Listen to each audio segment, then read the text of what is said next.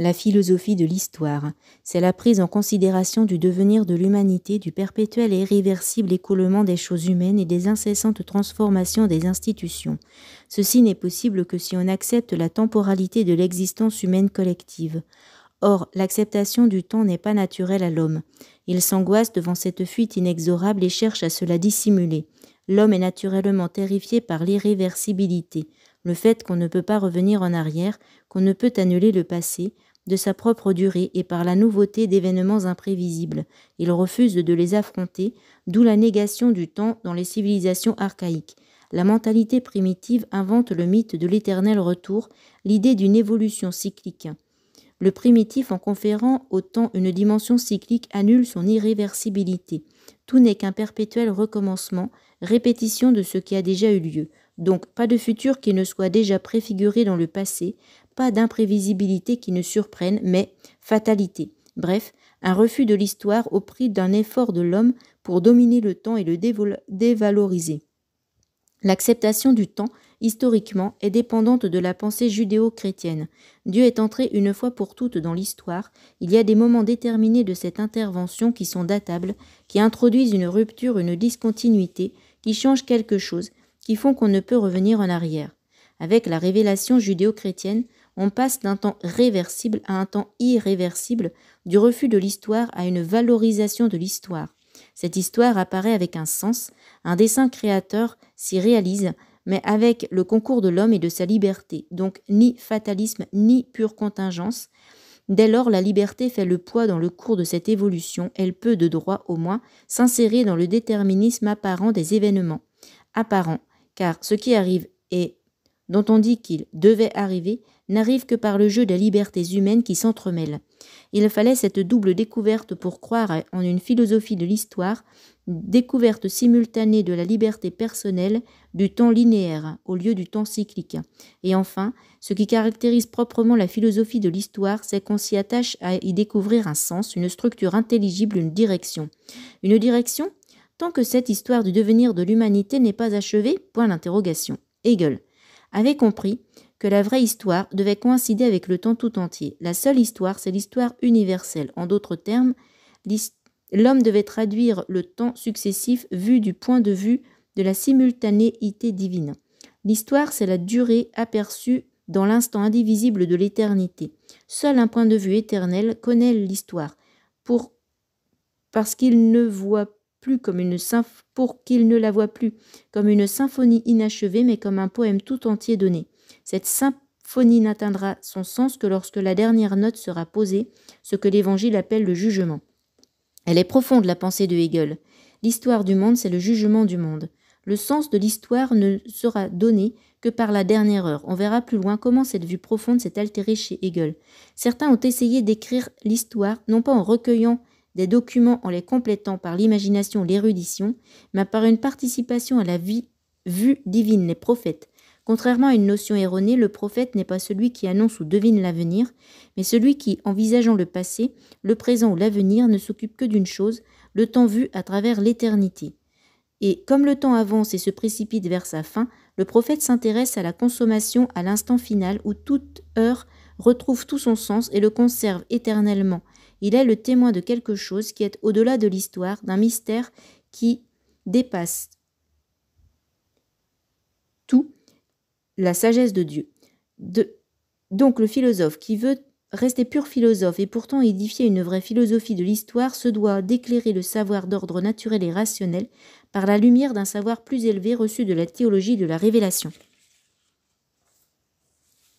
Le climat convenable au développement d'une authentique philosophie de l'histoire est le climat intellectuel de la tradition judéo-chrétienne, seul à pouvoir nous donner la certitude que les tragédies historiques ont une signification transhistorique même si cette signification n'est pas toujours transparente pour l'actuelle condition humaine. Il n'y a que pour Dieu que l'histoire a un sens, mais alors ce n'est plus l'histoire, c'est un dépassement de l'histoire, c'est la sagesse de Dieu. Les laïcisations de la philosophie de l'histoire, Hegel et Marx. Hegel. Les trois façons d'écrire l'histoire. L'histoire originale, simple récit par les témoins directs, réfléchie, celle de l'historien, au sens habituel, qui n'a pas connu les événements qu'il relate, mais s'efforce d'en discerner la continuité philosophique, celle du philosophe qui, à travers le devenir humain, cherche à dégager l'ensemble de l'histoire de l'esprit humain. Cette histoire de l'humanité, histoire universelle selon l'expression de Hegel, est définie par lui comme l'extériorisation de l'esprit dans le temps. Notez bene, pour qu'il y ait histoire, il faut qu'il y ait temps, et pour qu'il y ait sens, il faut l'esprit, qui arriverait à penser le temps. Dans toute sa généralité, penserait l'histoire universelle qui s'incarne dans un peuple, et qui au terme donne sa signification dernière à tout développement. L'histoire universelle n'est que le développement de l'esprit absolu vers sa réalisation plénière à travers l'humanité selon un rythme.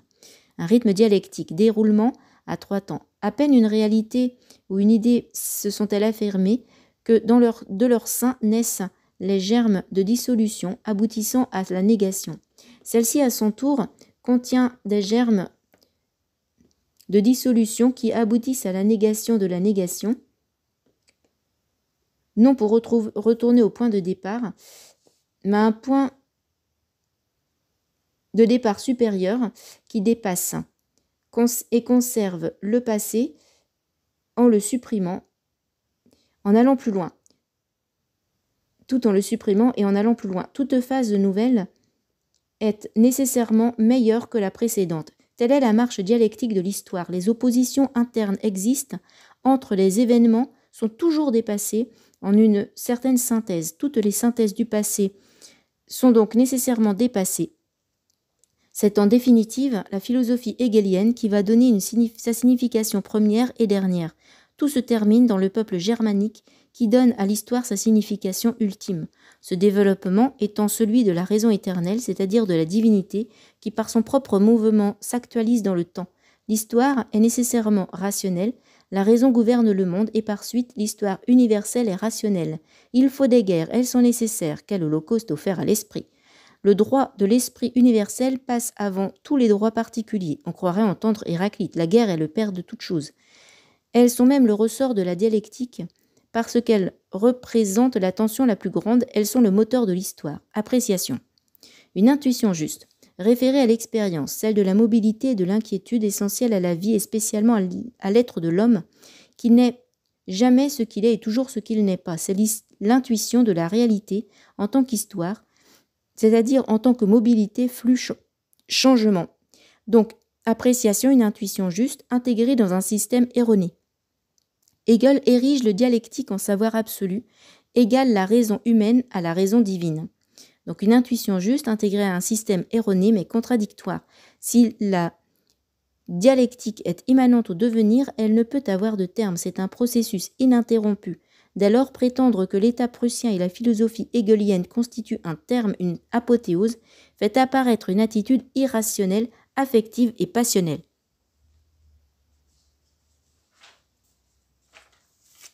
Enfin et surtout, le jeu de la dialectique ne laisse ne laisse pas de place à la liberté et de l'être humain subit son histoire. Les changements historiques et nécessaires en eux-mêmes et de la façon même dont ils se produisent très discutables. La personne humaine et sa liberté n'ont aucune consistance propre, simple vague sur l'océan de l'histoire, et qui imagine qu'elle pousse le flot alors qu'elle est portée par lui. Le grand homme de l'histoire est celui qui perçoit cette nécessité, qui devine plus ou moins obscurément ce qui est mûr pour le changement, et qui travaille à faire passer dans l'existence le fruit déjà préparé par l'histoire. la ruse de la raison est d'utiliser les intérêts, les passions même les plus égoïstes de ces grands hommes, leur laissant l'illusion de conduire les événements alors qu'ils ne sont que des marionnettes de l'esprit. Jamais Hegel ne parle de leur conscience, du rôle joué par leur raison, leur liberté, bref, de ce qui est le plus authentiquement humain et rationnel en eux. Contre cette nécessité soi-disant implacable, il faudrait faire une remarque ou plutôt la distinction suivante. D'une part, autre est la nécessité de certains changements étant donné la structure et les circonstances, d'autre part, et autre est le, le mode, la manière dont ils se produisent de façon contingente et non pas nécessaire. Cela dépend de la liberté et de la volonté humaine. Il faut tenir ces deux points ensemble. De l'histoire humaine, il y a dans l'histoire humaine, il y a des courants nécessaires et en même temps rien n'est inévitable. Jamais les engrenages de l'histoire n'ont un caractère fatal, tout en étant entraînés par elle, les hommes font leur histoire, ils ne la subissent pas. Par exemple, que nous entrions dans une révolution par les progrès de la technique grâce à des technologies nouvelles informatiques, est une chose nécessaire. Il y a là une avancée irréversible, mais tout nécessaire qu'il soit, ce changement peut se produire d'une manière asservissante et avilissante pour l'homme, ou d'une manière rationnelle et libératrice si l'homme en reste maître. Et cela ne dépend d'aucune nécessité historique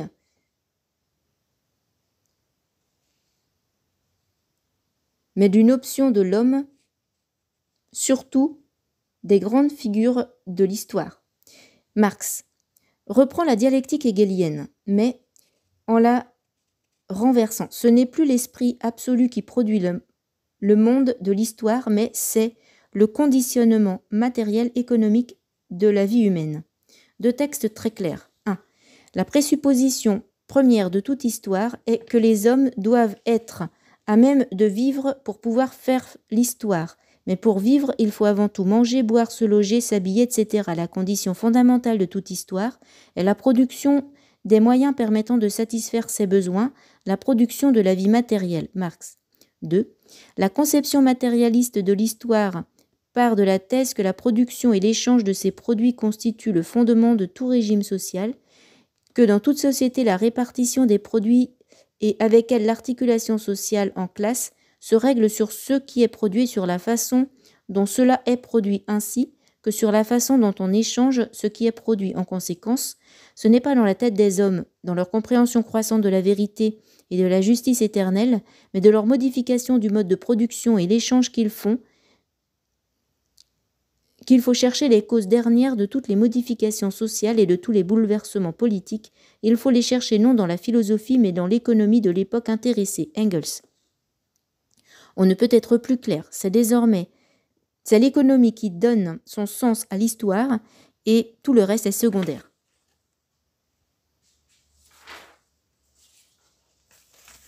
Marx insiste sur le fait que les hommes font leur histoire mais non dans les conditions de leur choix. Ils la font dans des conditions héritées du passé et imposées par lui, et entre toutes, ce sont les conditions économiques qui sont finalement déterminantes. Le penseur révolutionnaire est celui qui, prenant conscience du mouvement de l'histoire, révèle l'histoire à elle-même, découvrant le sens préfixé de son mouvement, ce qui était mûr pour se développer et dirige dans ce même sens l'effort des volontés humaines. Mais il n'y a pas de libre choix de l'homme, ni de capacité pour l'homme de modifier et d'orienter le mouvement de l'histoire.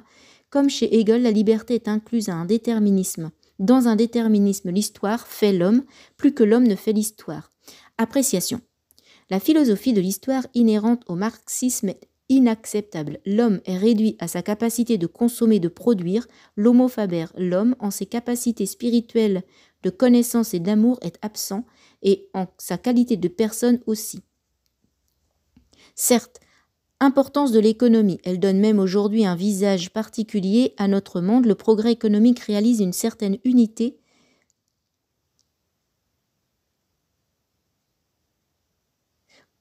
au sens qu'il enveloppe toute l'humanité dans une certaine orientation, mais l'esprit économique séduit et risque de faire oublier la destinée propre de l'homme, là où se, joue sa liberté. Il faut rester lucide pour distinguer entre le conditionnement économique dans lequel nous vivons, qui peut être tyrannique à certains moments, et que nous ne et ce que nous devons sauvegarder en fait de liberté intérieure. Mais c'est un fait que nous vivons à un moment de l'histoire ou de l'humanité où la tension entre les exigences de l'esprit et celles de la matière sont au niveau économique très fort. En fin de compte, il dépend de la volonté et de libre choix de l'homme de décider lesquelles de ces exigences seront prédominantes. Le devenir de l'humanité est trop complexe pour recevoir une explication qui, soit qui se veut totale par des seules et uniques causes, la cause matérielle. Donc, pas de sens de l'histoire, mais un sens de l'homme et de sa destinée. Au fond, ces tentatives de Hegel, et de Marx, de Hegel et de Marx